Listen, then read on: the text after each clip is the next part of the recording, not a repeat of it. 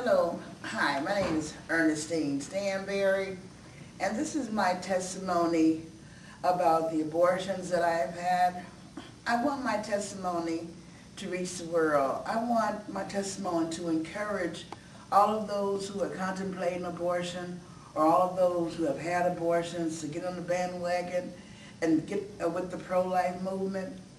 Um, my testimony is uh, called, again, I was once pro-choice, God showed me. You can get this testimony, uh, you can search on Yahoo or Google. Again, I was once pro-choice, God showed me. It is, uh, and print out. You can print it out from the computer.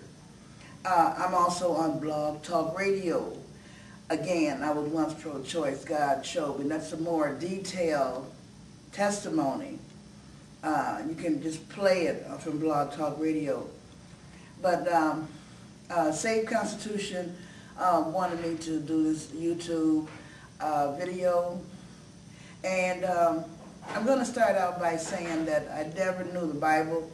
I believed in Jesus and the Lord, but I never read the Bible. I didn't read the Bible, so I didn't know God's wisdom. And uh, so uh, if you go to Psalms 139, 13 to 16, that will tell you how God knew us all before we was in the womb. It's also in Jeremiah 1.5 in the Bible. Now, um, I always believed in the Lord and his son Jesus, but I did not know his wisdom and I did not read the Bible. I did not know his word. And uh, I thought that uh, if I had an abortion and then uh, it was confirmed the same week, it was all right. So now over a period of 20 years, I ended up having eight abortions. And uh, God showed me my children twice. He showed me my children once in Indianapolis and once in Chicago. Now the second time, I want to stress the second time he showed me my children because it gave me a, he gave me a glimpse of heaven as it is. You know, they were in a beautiful, majestic place, toasting with wine glasses. And I remember the wine glasses had the word amore on the wine glasses. They were in the house with high-tech uh, equipment, playing regular music and rap music.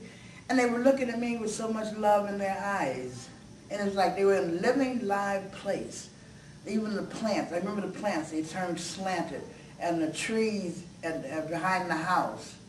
Uh, God showed me, and I was not asleep at the time that God showed me my children. This is why I want people to know that God showed me that they are living and alive in heaven. And you know, when you're doing out here on this earth, uh, you think that um, when when you're pregnant, you know, it takes a while.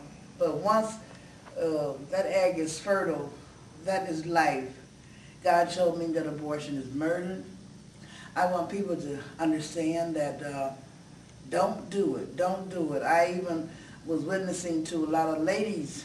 My testimony has helped a lot of women who have even been raped. One little girl, for instance, was raped by her uncle. And I told her about my testimony, what God showed me, and God showed me my children that it was wrong. She had that baby. One day I'm walking down the street, all of a sudden she turns around and she gets out the car and she jumps, oh, Miss Standberry, Miss Standberry, I'm thanking you so much for the testimony. I had my baby. I had my baby. She had a beautiful little girl.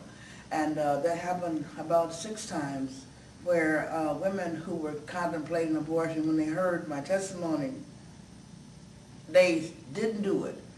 And I'm trying to reach out to people that don't, don't do it, don't do it. Uh, first of all, go to the Bible and go to Psalms 139, 13 to 16.